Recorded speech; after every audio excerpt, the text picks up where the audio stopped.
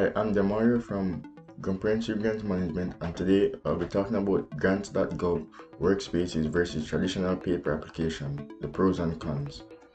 In the realm of grant applications, the shift from traditional paper-based processes to digital landscape of grants.gov workspaces brings forth a range of advantages and considerations. For grants.gov's workspaces, these workspaces streamline the process, the application process, allowing for faster completion and submission. It facilitates team collaboration, enabling multiple contributors to work on the application simultaneously. the workspaces offer a platform for real-time communication between applicants and federal agencies, enhancing transparency and responsiveness. Document management, centralized document storage, within the workspace simplifies the management of application materials, and the digital nature of workspaces allows for convenient online submission, reducing the need for physical paperwork.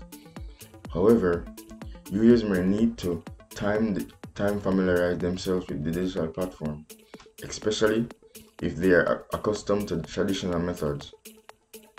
This requires a reliable internet connection for seamless access and collaboration and for traditional paper applications, many organizations are accustomed to traditional methods, and some individuals may find comfort in tangible nature of paper applications.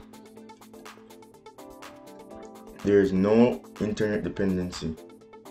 This is not reliant on internet access, making it suitable for organizations in areas with limited connectivity and document and with document security, physical documents can provide a sense of security, especially for sensitive information.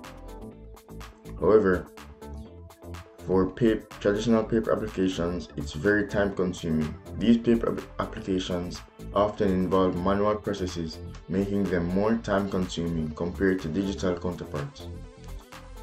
This collaboration, limited collaboration, is more challenging challenging requiring physical meetings for the exchange of hard copies, potentially slowing down the application process.